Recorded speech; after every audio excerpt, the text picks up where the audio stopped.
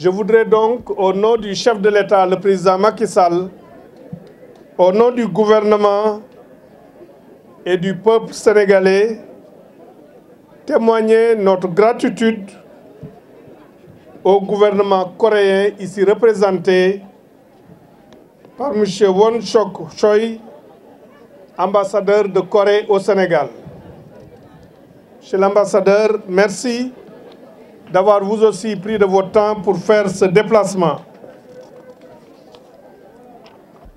L'accès des populations à des conditions adéquates d'approvisionnement en eau potable constitue l'un des objectifs du plan Sénégal émergent. Cette option prioritaire marque la volonté de l'État d'améliorer de façon significative les conditions de vie des ménages et d'atteindre les objectifs de développement durable dans le secteur de l'eau potable et de l'assainissement.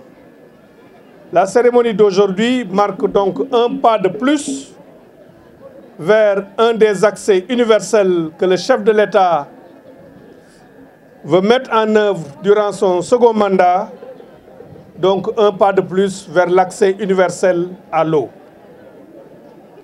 La réalisation de ce projet, qui compte sept systèmes multivillages, assure l'approvisionnement en eau de 100 villages peuplés de plus de 40 000 habitants.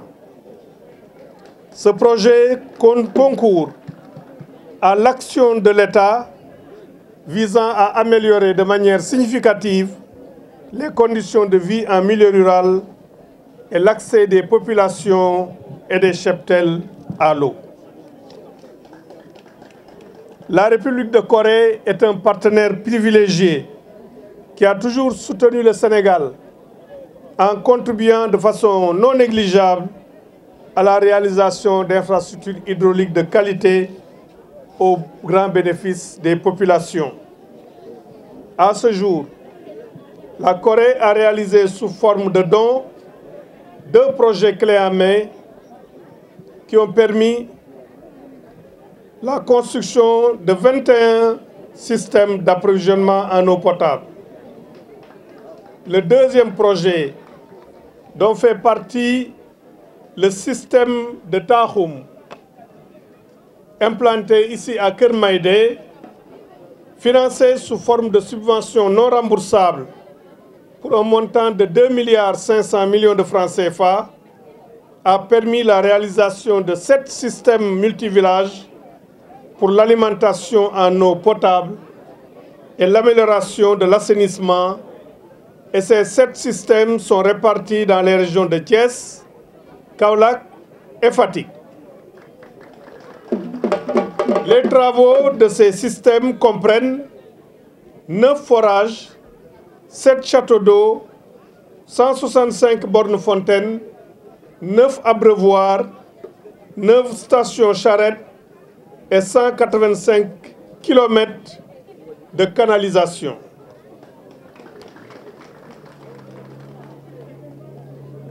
Excellence, Monsieur l'ambassadeur, la réussite de notre coopération dans le sous-secteur de l'hydraulique rurale est illustrée par cette belle mobilisation des populations, notamment celle des femmes et des jeunes, qui marquent ainsi leur engagement à tirer profit de cette infrastructure pour l'amélioration de leurs conditions de vie, mais pour l'amélioration aussi de leur bien-être économique.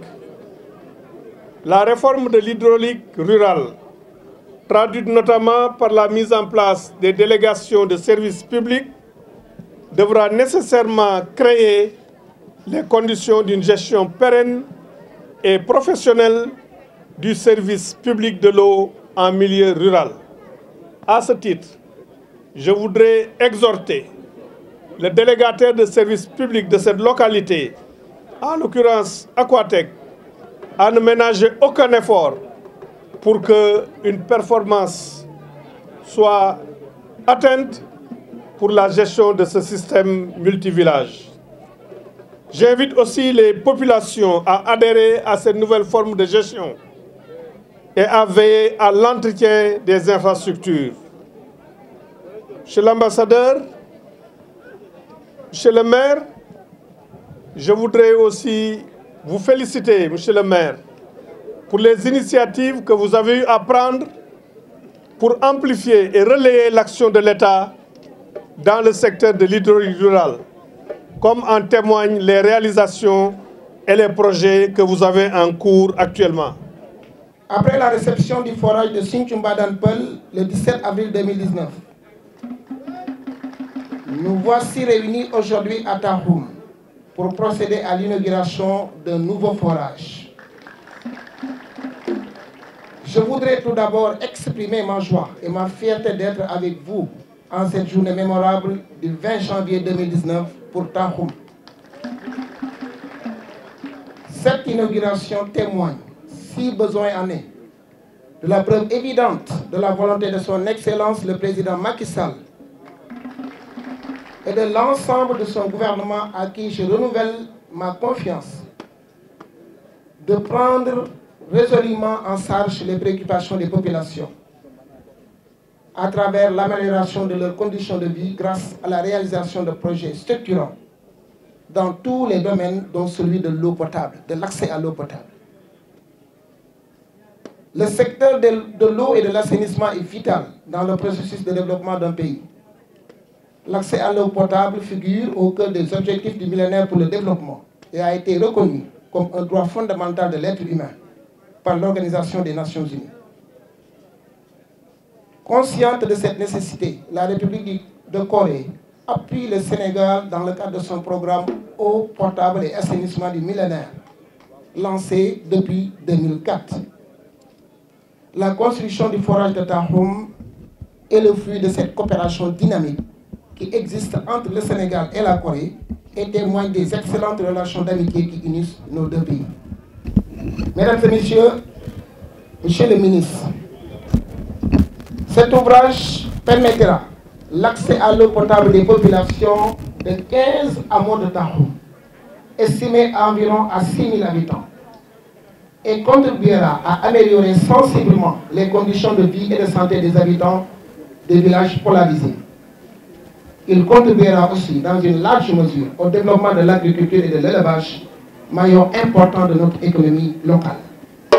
Et Monsieur le ministre, je le disais le jour où on était venu réceptionner cet ouvrage avec l'entrepreneur, je me suis permis de dire aux populations que dans ce village, il ne doit plus exister de pauvres, il ne doit plus exister de personnes qui ne puissent pas subvenir à leurs besoins. Un ouvrage de cette dimension, 200 mètres cubes, dans des terres aussi fertiles et aussi vastes, je l'ai dit, personne dans ce village ne devrait plus être pauvre. Et ça, c'est grâce à la Corée, c'est grâce au peuple sénégalais. C'est grâce à, à, deux présidents, c'est grâce à la coopération fructueuse entre ces deux pays. Donc, c'est le lieu de renouveler encore très vivement mes chaleureuses félicitations à son Excellence, le président Macky Sall, et à l'ambassadeur de Corée au Sénégal pour cette belle infrastructure. Monsieur le ministre, Mesdames et Messieurs, cette volonté exprimée au niveau étatique est reprise avec éloquence au niveau local par le conseil municipal de Malikounda, qui a entrepris, depuis son accession à la tête de la commune, en 2014, un vaste programme d'éducation d'eau potable, de construction et de réhabilitation de forages pour doter les populations de l'ensemble des villages de la commune d'eau potable. On peut citer, entre autres, le programme triennal d'adduction d'eau de 2017 à 2019 de la commune, je dis bien que c'est un programme triennal de la commune, pour un montant de 215 millions de francs CFA, qui nous a permis d'apporter de l'eau potable à Falon, à Sali Médine, à Sali Aérodrome, à Carrefour Malibouda, à Sali Douté, et actuellement à Rof, à Pointe-de-Salène, à Nyaning et à Wara. Et c'est financé sur ressources propres de la commune pour un montant de 215 millions de francs CFA? La réhabilitation du forage de Malikounda pour un montant de 10 millions. La construction d'un nouveau forage entre Ngogom et Malikounda Sas pour un montant de 120 millions sur ressources propres toujours.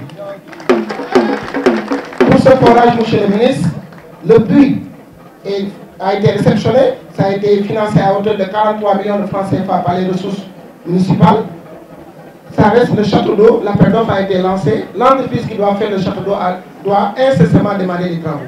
C'est pour un coût total de 120 millions de francs CFA sur ressources propres de la commune.